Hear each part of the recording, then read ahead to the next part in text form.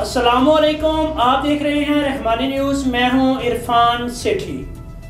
आपको लिए चलते हैं चीचावतरी, जहाँ थाना कसवाल की हदूद 104 बारह में बदबक सके बाप ने अपनी सतारह साल बेटी को ज़्यादा का निशाना बना डाला।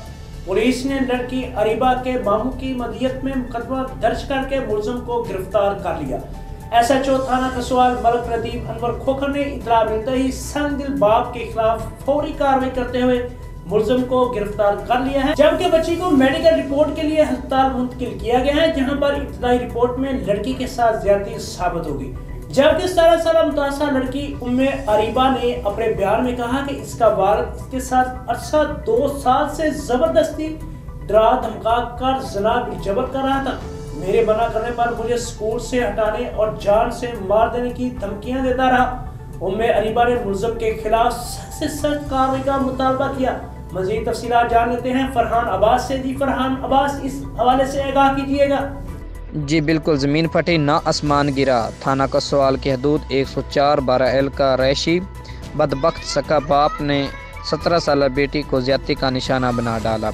एस एच ओ थाना कसवाल मलक नदीम अनवर के मुताबिक उन्होंने इतला मिलने कि एक संग दिल बाप ने अपनी बच्ची को रेप का निशान बनाया। तो हमने फौरी कार्रवाई करते हुए मुलजिम को गिरफ़्तार कर लिया।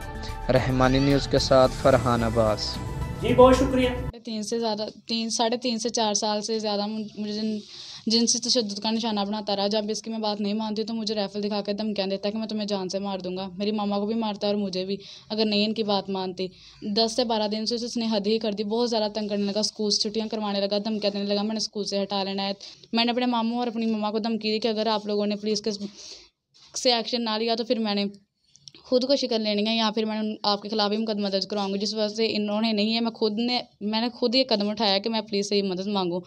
और मेरी तो हुकूमत से यही अपील है कि इसे इतनी घटिया, इतनी बदतर सज़ा दी जाए कि दुनिया का हर शख्स काम है इसकी मौत सुन के।